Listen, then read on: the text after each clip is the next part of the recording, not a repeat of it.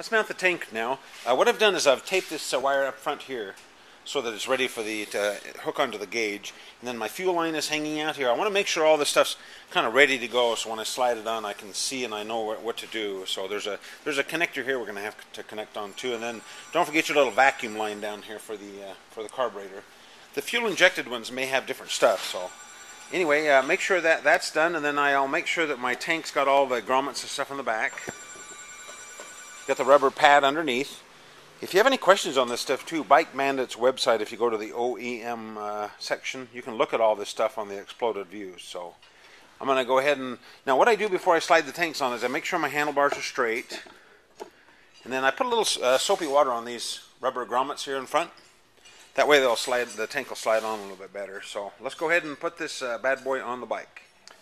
Don't forget to lift your tank up in the back and uh, plug that connector in under there. That's that's really important. You don't want to get all that hooked up and then forget that.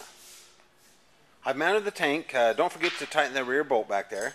Uh, now there's two things on the left side that you need to make sure of. Make sure you put your fuel line back on, and then don't forget the little uh, vacuum uh, line that goes on the bottom of the carburetor. That's very important because without that vacuum line hooked up, uh, you'll never get gas to your carburation. So, and I don't know about the fuel injection how that works, but on the carbureted models, make sure you hook up that vacuum line. Uh, on the right side, uh, I showed you that it's got that uh, wire, the connector on the bottom to hook up the electrical. Make sure that's hooked up. And then I've put the uh, gauge back on.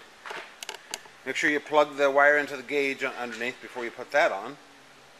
So that's pretty much it on the gas tank. Uh, oh, now one very, very important thing again. Make sure that your handlebar doesn't hit, get too close here. You don't want that to slam over and hit the tank and put a dent in it. Do that on both sides. Make sure it's uh, not too close. Then later we can adjust our bars.